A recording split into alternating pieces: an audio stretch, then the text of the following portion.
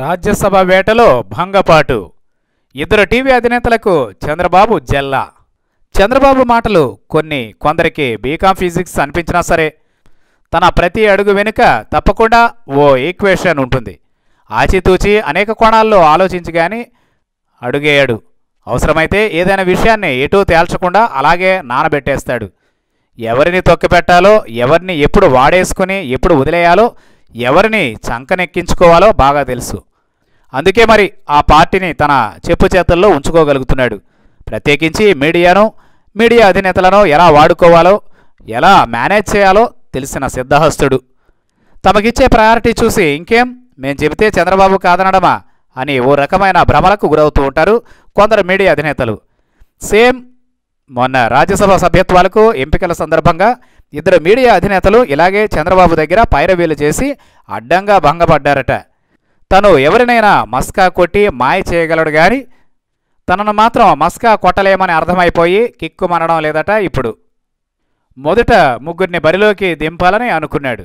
తరువాత వద్దులే అసలు పరిస్థితులు బాగాలేవు. రిస్క్ ఎందుకని రెండు సీట్లకే పరిమితమయ్యాడు. సీఎం రమేష్ తనవాడు తన ఆర్థిక వ్యవహారాలకు కావలసినవాడు. కాబట్టి తన రాజ్యసభ సభ్యత్వాన్ని ఎవరు వద్దన్నా పొడిగించాలనే అనుకున్నాడు. నిజానికి సుజనా చౌదరి వంటి నేతలకు సీఎం రమేష్ను తిరిగి రాజ్యసభకు ఎంపిక చేయడం సుతారాము ఇష్టం లేదట. అయితేనే ఎవరి ఇష్టాయిష్టాలు చంద్రబాబు పట్టించుకోడుగా? మరి రెండో సీటు? బయటికి వర్ల రామయ్య అంటూ ఫీలర్లో వదిలారు కానీ ఎంతకు చంద్రబాబు తేల్చడం లేదు. ఈలోపు రెండు తెలుగు టీవీ ఛానళ్ళ అధినేతలు అచ్చంగా పచ్చ చొక్కాలు వేసుకున్నట్లే టీవీలను నడిపేవారు. చంద్రబాబుకు మేమెంత చెబితే అంత మేమేం చెబితే అదే అన్న భ్రమల్లో ఉండేవాళ్ళు.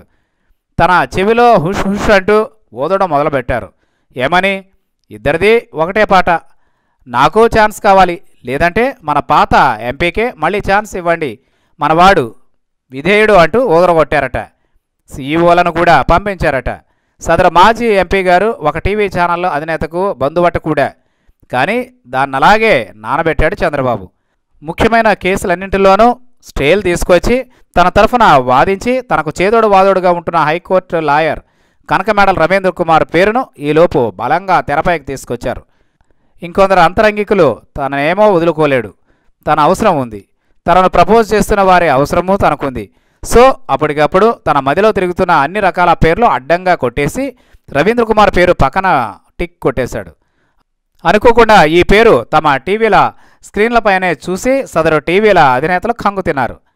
చంద్రబాబు అర్థం కాడు అనుకున్నారట.